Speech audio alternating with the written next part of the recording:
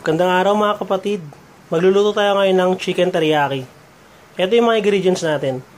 Meron tayo rito chicken wings. Meron, dit, meron tayong flour, half cup, same with cornstarch, half cup din. And then yung chicken wings natin, marinate lang natin sa salt and pepper tsaka sa lemon. Meron din tayong asin, 1 teaspoon ng paprika, 1 teaspoon ng garlic powder, tsaka 1 teaspoon ng ground black pepper. Bali, mimix lang natin yung cornstarch flour, asin, paprika, garlic powder, tsaka pepper para magawa tayo ng breading.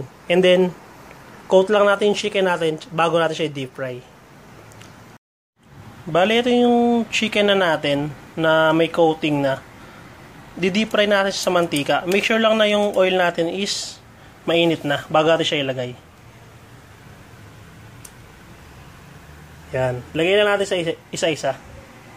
Check natin yung chicken natin. Yan.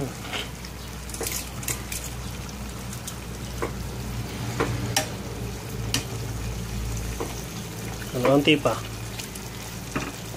Yan. Nakita nyo yung parang red na mga ano sa paprika yan.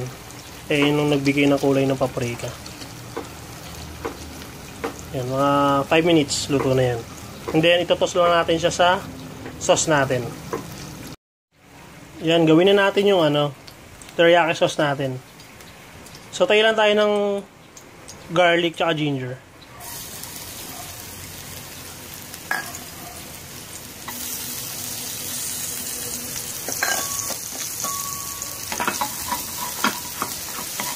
Yan, so tayo lang natin.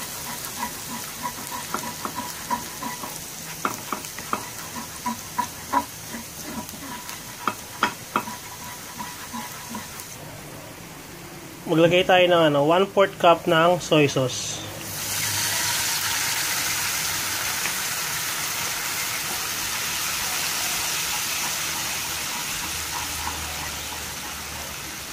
Tsaka 1 4 cup ng brown sugar.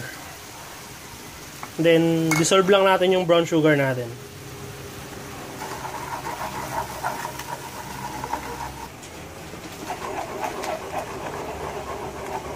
Yan, ano lang natin siya. Pakuluin para magtiken yung sauce. Reduce lang natin yung ano niya, liquid. Yan. Magtitiken yan mamaya. Reduce lang natin. Yan, ito na yung ano natin. Teriyaki sauce. Lagyan natin yung chicken natin.